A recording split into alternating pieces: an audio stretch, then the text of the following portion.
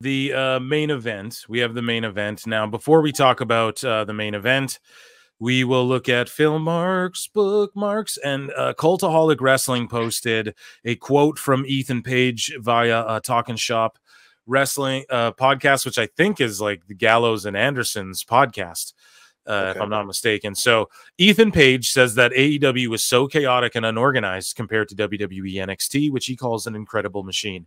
And I tweeted you awful. I told you, bud. I told you this guy was a guy I, I told you, man, he never got a real chance in AEW. Oh, they pushed him with the ATT. They pushed him with Dan Lambert and the American Top Team. Yeah, that cringe. I never MMA. said any of that, by the way. No, no, I know you didn't, but just other people like, yo, dude, you mean that cringe MMA that even Dan Lambert trashed after he left AEW. Right. Like after he was affiliated, he went on. He publicly said it. Like what they were doing was stupid, and they he felt they could have did more. Da da da da da. Oh, wow. And like that, he was saying. Yeah, he said that, that he was saying in his promos was like real, like pretty much off, like was his right. real feelings about the company type. So uh, it's just it's so goobery. And then here's Ethan Page. Just I, I told you, bro, this guy could be a real a real player man um mm-hmm. and he was yeah so here we go here's more proof of it but he goes on to say i went from somewhere that was so chaotic and unorganized so there's just further proof like is he lying oh he's sucking wwe's dick man everyone says this about them right like it's obviously the truth. And so Ethan Page goes on to say to a place that I mean, I'm still learning because I'm still so new here, but this is a machine and it's incredible. It feels good to not feel like I have to do everything myself. To have people that want to see me succeed is kind of mind blowing. Right there, to have people mm-hmm. that want to see me succeed and that are actively like okay they didn't just sign ethan page to keep him from the from the wubs bro like so many people think dude they signed him like WWE's got a bloated roster, but they're not going to overbloat it to the point where it's like AEW, man. And they signed him because there's people actively working on how are we going to highlight this guy's positives and turn him into a star and help him be this head heel that right. who, he's actually a vet though. So his experience. We're going to teach him our way, and maybe he could be a main roster, mid card, lower card player one day. Maybe he could exceed that. Who knows? He's already the NXT champion. Who saw that coming? But right. they have people going, okay, we're going to get this guy over. That's why we signed him. We're not just going to waste money, market him, take pictures of him, do, you know, get all this film, all this and waste our yeah. time and money. And especially not now. This isn't Vince's WWE. They're not just like, you know, making whole storylines that'll just evaporate in thin air. So, yeah, man, they brought him in. Um, he said it was chaotic. Now he has people behind him who are wanting him to succeed. Nah, bro, you're here for a reason, right? He That's walks the, into the, he walks into the building. Sorry to cut you off. He looked like a million bucks. What were you gonna say?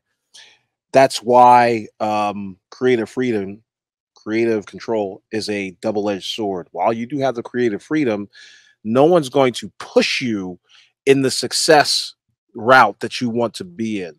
Like you're not going to get that. Out. I think that's a cop out. That's a cop out by like bookers and and uh and like cr- creative like Tony Khan. That's a cop out. Like you're not yeah. creative enough to come up for for these exactly. So, yeah, because so, you don't yeah. know who they are, and yeah. they themselves don't know who they are, and there's no workshopping to find out who the hell they are. And that what he said may be one of the more prophetic quotes that I have for the book.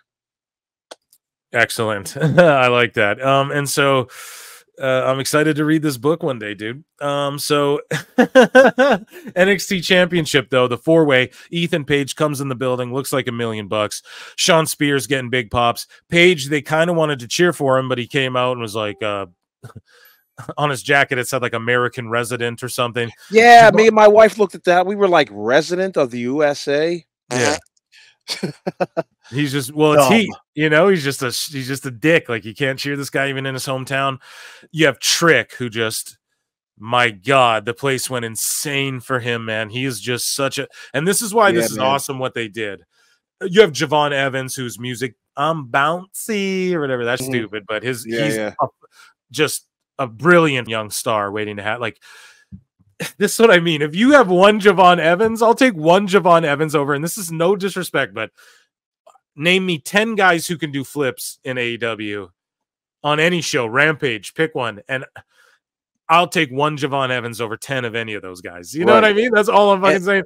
And I think you and I both know the reason that can sell his ass off. Sell, bro. It's all about selling. And he and he said, does dude- some real crazy, like goofy moves that make you laugh, but they are yet still effective. I think he did like a he did like a plank dive onto somebody, and it just looked so goofy, but it, it worked. yeah man it's just him like with his little style and everything on it i, I love it and uh and yeah man he selling's just the number one thing absolutely and he gets it and he has a quote saying that um he loves he's like i love going directly to matt bloom and he names someone else. He's like because they just tell you right how it is he's like i don't want no i want real criticism like how can i get better? And i'm like word dude you hear stories about jack perry? And it's like no I, I don't need to listen to arn anderson I don't need to listen to it's like come on man you guys are goofs. And so anyways so Trick Williams does look like a star, by the He's way. just I mean, a million dollars, bro. That guy on the main incredible. roster, that's I mean, him versus Bron Breakker, that's like a WrestleMania main event in five, ten years or whatever. You know, I. I truly believe that. But, anyways, man, you have another breakthrough star. Ethan Page, dude, he won the NXT championship in a great finish, too, where Trick was selling it. He was like clawing to get there. And the look on his face, it was like Mufasa falling from the cliff. You know what I mean? Like Trick's crawling, and oh my god! And his belt gets taken from him, and he's like, and he's just shocked. And then he's turning up Drew style. Every he's like, this is da da da da, and it, and Yeah. like his, he did the scissor knee on Ethan Page. I could sit here and blow every spot to death. Um, but it was just a tremendous four way. Like usually four ways are a little messy. God, this was really good. And you had Spears and Page in there, the two veterans, the two heels, so they're leading the match. Oh and yeah, they just got the best out of Trick and the best out of Je'Von. And this is just such a good match. And then Ethan wins the belt, which I think is just the right call, man. He's like a fringe, like, yeah, I'll sign this deal, but you have to do this for me. And then he weasels his way in, and then he's he wins the belt, and now Trick's got to chase it again. But Je'Von wants it, and they're friends, and there was a little bit of tur- so we got I don't know, lots of lots of good stuff coming in the future of NXT. And this, if people weren't awake to NXT, this is a great show and starting point to like put this show on. Like Awful said at the top, you'll learn about everything, you'll care about everything, you'll understand every character. And from Heat Wave on, start watching NXT. And I think you guys will absolutely be hooked like I am. I just love it. Uh, your thoughts on this match and all ego Ethan Page, man. so much to say about this match. I mean, so many stories being brought to the table. Um, the best thing, the the best finish I might have seen all year, as far as uh, any wrestling match. I mean, that was just so concise, so to the point. And I think I mentioned this before a few weeks back. AEW when they do their wrestling and their flippy flops, they it's almost like a formulaic type of thing where it goes flip, flip, flip, boom, or try to get their attack. With WWE, it's always flip, boom. They go right for the attack in every one of the, in every one of these like what you would call a flippy type of match. But it's so much more, it's so much sharper, it's so much quicker, it's more impactful. This match had more of the same best finish of the night. Um, everybody was made in this match. Even Yeah. Shawn Spears was made in this match. Like he he he was like the tone of the match. Like we're gonna slow it down when we need to. Ethan Page, uh, he was the first time the first time I saw him wrestle in ever. So he was all right. And Je'Von Evans, I mean, my goodness, I can't like he was.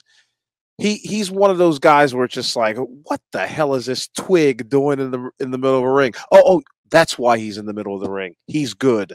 so yeah, match of the I wouldn't say match of the year, but finish of the year easily. You liked it that much, huh? That's absolutely Oh my goodness, it was great. If AEW had the same type of match with four guys that I didn't really know, I most likely would give it the same rating because again, everybody wanted to win the match, not show off. Even even there was a little spot. I hate the yay boo spots, the the the, uh, the back and forth fist spots, but they work in this context because you know it just works. They're not going for like the yay boo spots. They're really trying to knock each other's head off. And so, yeah, uh, I can't say enough good things about it. I, I I'm not a fan of Ethan Page yet, but I see what he brings to the table, and I'm shocked that Tony Khan gave that up. Incredible.